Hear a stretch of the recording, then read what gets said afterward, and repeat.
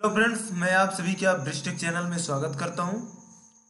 और ये आज मैं डिस्कस करने वाला हूँ कि जो मोस्ट इम्पोर्टेंट क्वेश्चंस होते हैं जनरल नॉलेज के, सामान्य हिंदी में, वो किस तरह से आते हैं और क्यों आते हैं और उनमें से, उनसे रिलेटेड कितने क्वेश्चंस आ सकते हैं, ये मैं आज डिस्कस करने वाला हूँ इस वीडियो में, ठीक? तो सबसे पहला मैं क्वेश्चन देखता हूँ कि पृथ्वी का एकमात्र प्राकृतिक उपग्रह है, ठीक? ये दे दिया गया क्वेश्चन कि पृथ्वी जो है, एकमात्र प्राकृतिक उपग्रह है तो उसका आंसर होता है चंद्रमा। तो ये चंद्रमा क्या है? एक प्राकृतिक उपग्रह है, जो कि सौरमंडल में पांचवा सबसे बड़ा प्राकृतिक उपग्रह है। सबसे विशाल है, ठीक पांचवा नंबर में आता है। और जिसको पृथ्वी से लेके चंद्रमा तक की जो दूरी होती है, वो तीन लाख चौरासी हज़ार चार सौ तीन किलोमीटर होती है। अगर हम किलोमीटर में देखें तो तीन लाख चौरासी हज़ार चार सौ तीन किलोमीटर होती है। ठीक? और जो पृथ्वी की दूरी है, ठीक ना? पृथ्वी की दूरी और चंद्रमा की दूरी, उसकी परिधि की तीस गुना है। चंद्रमा जो है, वो पृथ्वी की परिधि, परिध से तीस गुना बड़ा है। ठीक ना? तो अब देखते हैं हम दूसरा क्वेश्चन। ठीक? फिर आता है गांधी। गांधी फ़िल्म में गांधी की भूमिका किसने निभाई है, ठीक? तो गांधी फ़िल्म एक बनी हुई है बॉलीवुड में, जो कि गांधी की भूमिका किसने निभाई है, ये चीज़ देखा जा रहा है, यहाँ पे पूछा जा रहा है, ठीक? जो कि गांधी जी की तरह दिखते थे। वो हैं बेन किंग्सले। कौन? Ben Kingsley. तो वहाँ के जो संगीतकार हैं, सिंगर हैं, उस फ़िल्म के सिंगर जो है वो है रविशंकर और जॉर्ज फेंटल, ठीक? कौन? रविशंकर, संगीतकार और जॉर्ज फेंटल, ठीक? और जो उसके डायरेक्टर थे वो है रिचर्ड एटनबरो, एटनबोरो, ठीक? और जो निर्देशक थे, ठीक, वो है रिचर्ड एटनबोरो। मतलब चाहे उसे डायरेक्टर कहिए, चाहे निर्माता, चाहे निर्देशक, वो दोनों कौन है? रिचर्ड एटनबोरो, ठीक? और लेखक इस फ़िल्म के, जो गांधी फ़िल्म बनी है, उसके लेखक कौन है? Ben Kingsley. कौन? बेन किंग्सले, जो कि इसमें गांधी जी का रोल किए हुए हैं, ठीक? अब हम देखते हैं नेक्स्ट क्वेश्चन शिक्षक दिवस कब मनाया जाता है?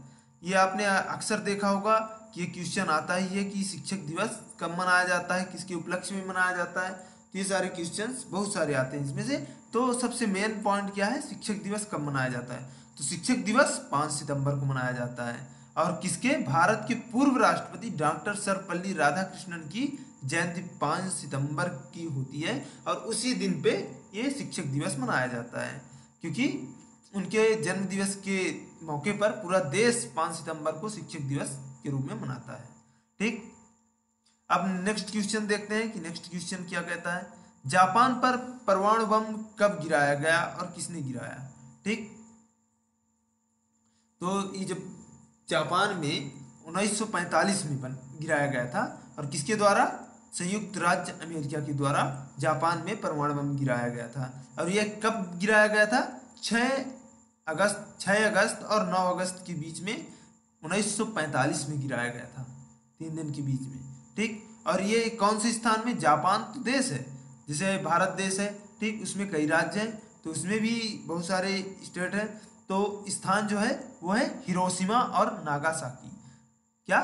जापान में हिरोशिमा और नागासाकी है ऐसा स्थान है जहाँ पे गिराया गया था ये बम।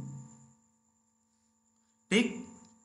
और हिरोशिमा जो है, हिरोशिमा में लगभग बीस हज़ार से ज़्यादा सैनिक मारे गए थे। ठीक?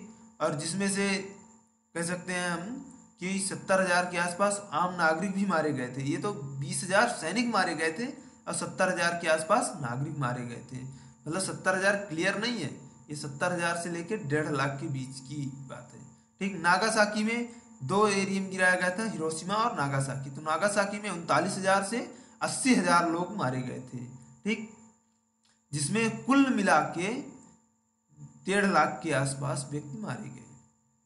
ठीक, और फिर नेक्स्ट क्वेश्चन देखते हैं। भागड़ा नागल बाँध किस नदी पर है? भागड़ा नागल बाँध किस नदी पर है? ठीक तो ये आता है एक इम्पोर्टेंट क्वेश्चन कि भागल, भागड़ा, नागल बाँध किस नदी पर है तो ये है? सतलज नदी, जिसे हम सतलुज नदी भी कहते हैं। ठीक?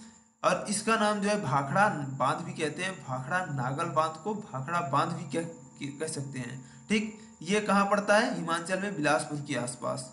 ठीक? और जिसकी लेंथ क्या है? लंबाई क्या है? 1700 फीट यानी हम कह सकते हैं 520 मीटर। ठीक, ये हुई लेंथ इसकी हाइट क्या थी?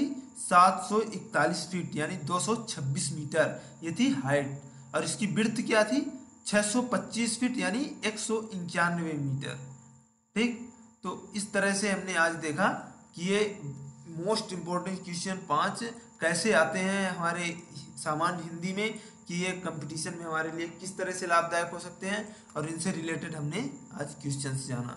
तो दोस्तों, यदि आपको ये वीडियो पसंद आया हो, यदि आपको ये जानकारी अच्छी लगी हो तो प्लीज़ हमारे चैनल को सब्सक्राइब करिए और ये वीडियो शेयर करिए ताकि आपके साथ साथ आपके दोस्त भी किसी कंपटीशन की यदि तैयारी कर रहे हैं तो उनको, उनके लिए सहायक हो। तो थैंक